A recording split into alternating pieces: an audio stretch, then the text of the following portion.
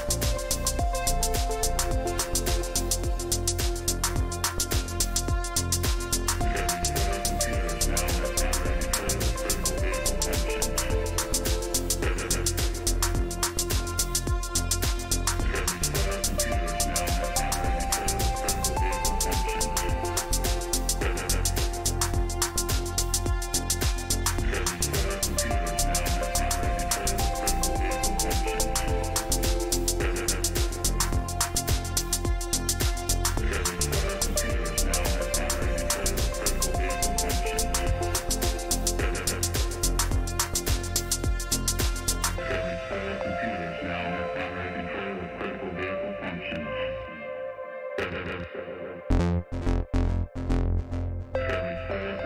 now with primary control of critical vehicle functions.